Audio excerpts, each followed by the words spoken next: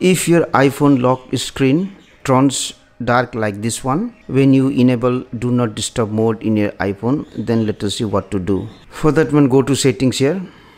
and go to focus